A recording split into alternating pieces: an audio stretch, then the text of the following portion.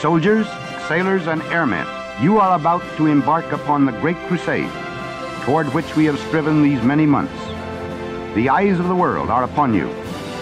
The hopes and prayers of liberty-loving people everywhere march with you.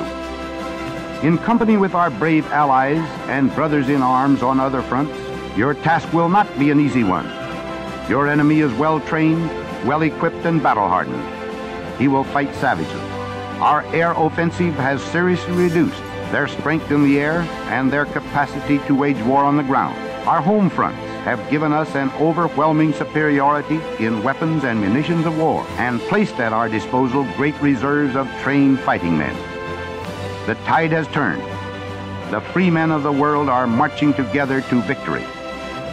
I have full confidence in your courage, devotion to duty, and skill in battle. We will accept nothing less than full victory.